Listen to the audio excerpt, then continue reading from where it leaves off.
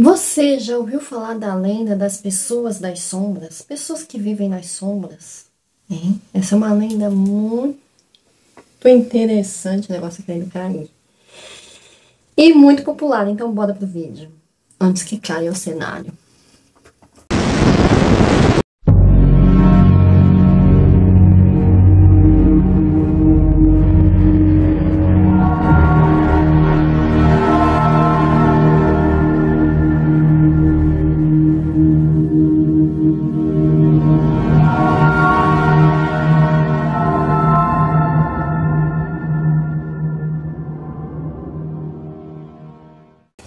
E sejam todos muito bem-vindos a este canal. Se você for novo ou nova por aqui, por favor, se inscreva neste canal. Curte, comenta, compartilha e ativa o sininho de notificações que é para você saber quando que tem vídeo novo. O meu nome é Maria Cláudia e este é o canal do 30 A Gente Se Vira. E hoje nós vamos falar então Shadow People, as pessoas das sombras. Você já ouviu falar dessa lenda?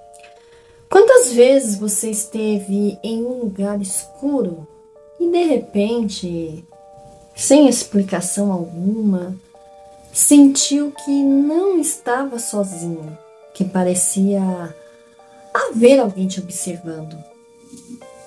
Agora me senti até. Ah.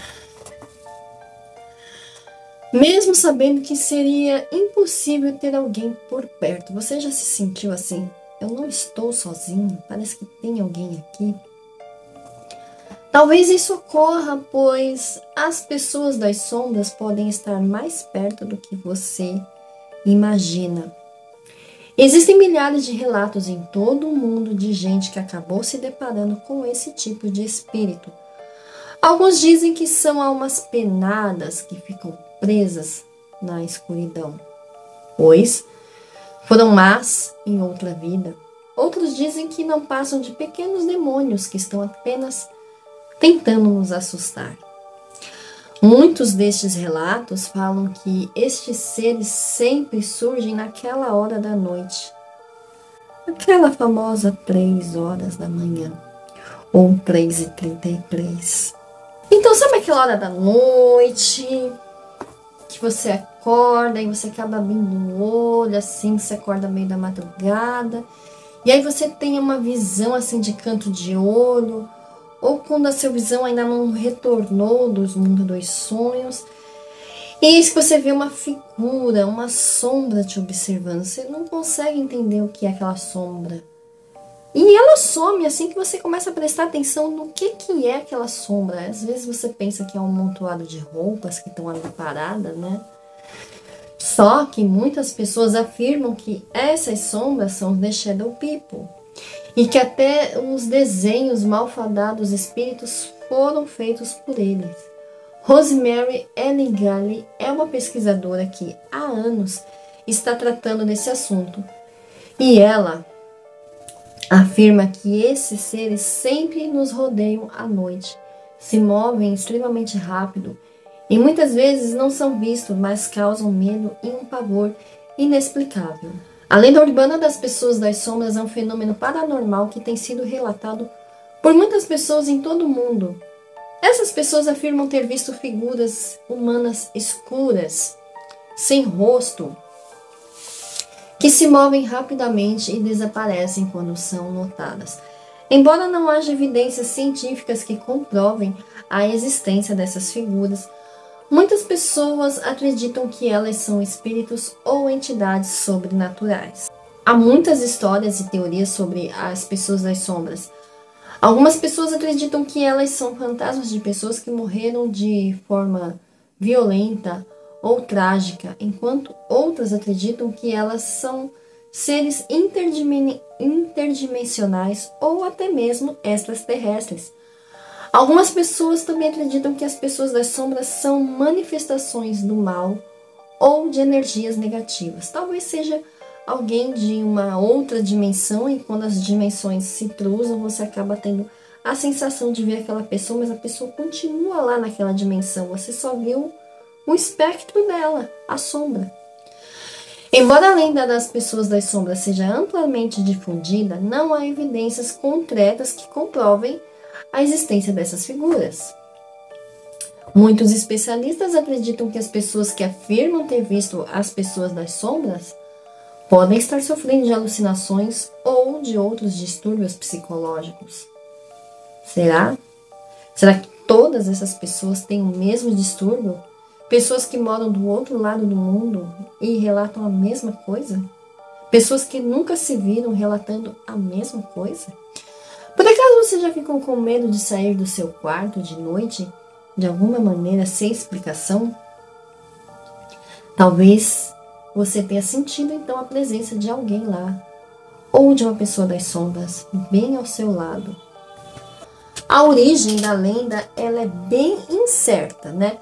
E ela pode variar dependendo da fonte. Algumas pessoas acreditam que a lenda tem raízes em histórias antigas de fantasmas e espíritos, enquanto outros acreditam que é uma criação mais recente de uma cultura popular.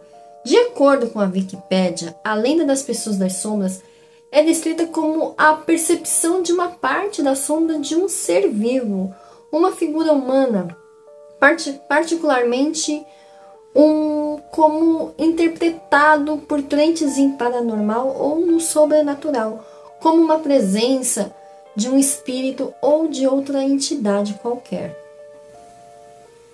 A lenda começou a se popularizar no início dos anos 2000, quando o programa de rádio Coast to Most AM é, ajudou a popularizar crenças né, nessas modernas, né? popularizou lá naquela região dessa rádio.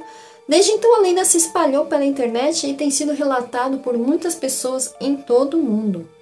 Embora a lenda das pessoas das sombras seja amplamente difundida, não há mesmo é, com evidências concretas da existência dessas figuras, né?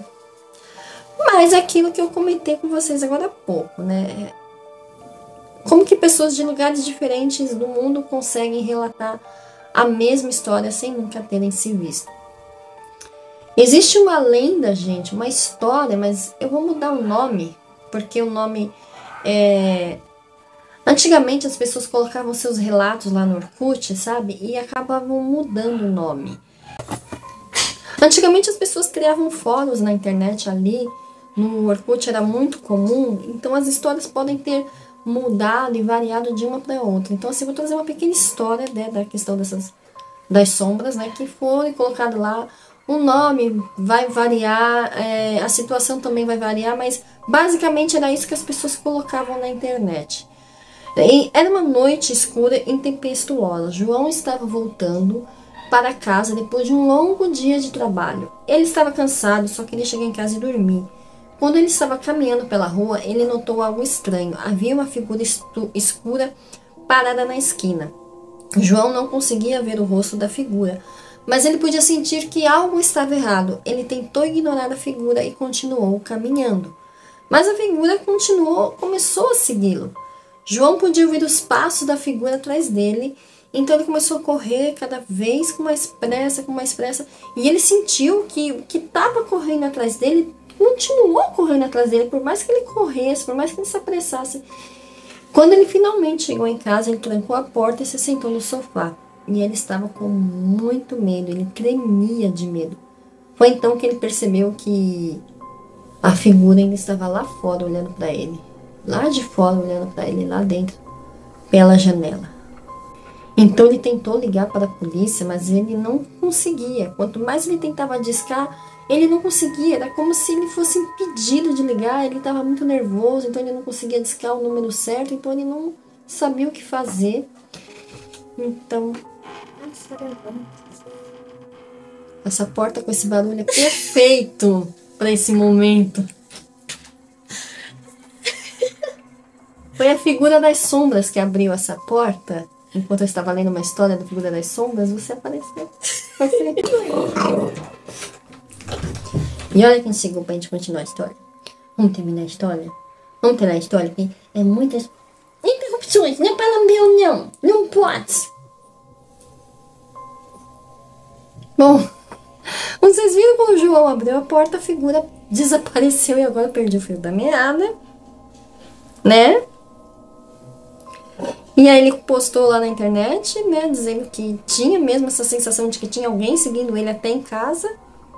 Por que você tá com esse olho remelento? Você não pode aparecer na televisão esse olho remelento. Agora sim.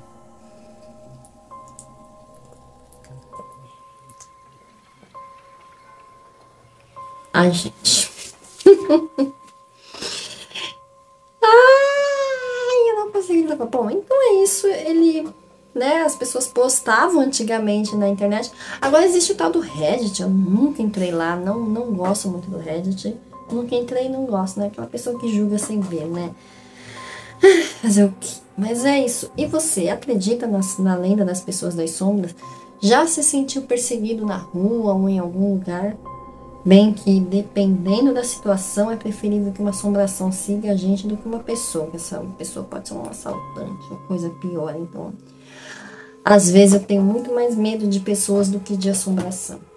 Entre ver uma assombração e ver uma pessoa estranha na minha casa, eu prefiro ver a assombração. Falou, gente? Muito obrigada por ter assistido até aqui. E se você quiser mais alguma lenda em específico, deixa aqui nos comentários para eu buscar lá, porque eu tô começando a ficar sem criatividade. Aí foi o que eu vou trazer. Preciso voltar também a trazer lendas urbanas japonesas, não sei quais que eu já trouxe, quer dizer, eu sei quais que eu trouxe, né? Mas aí eu começo a procurar, fica muito repetido, e atenção tudo que eu falo. E eu vou prestando muita atenção, gente, porque eu, eu sou um cachorro muito bravo, eu tava latindo, atrapalhando a gravação, né? E é isso, gente, muito obrigada, um beijo e até o próximo vídeo. Tchau!